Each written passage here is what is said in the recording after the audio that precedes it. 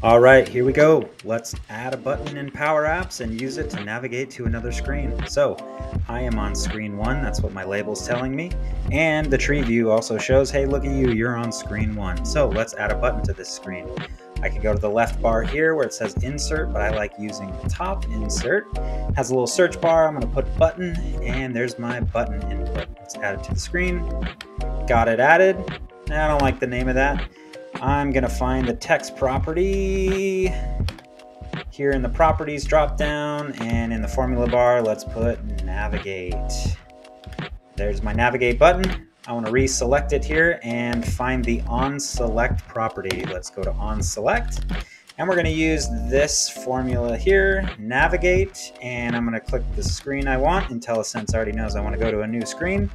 And it's going to also know, hey, here's a screen, screen transition. I'm going to do screen transition, uncover right, close the parentheses, and in the moment of truth, hold down Alt, and let's click our button.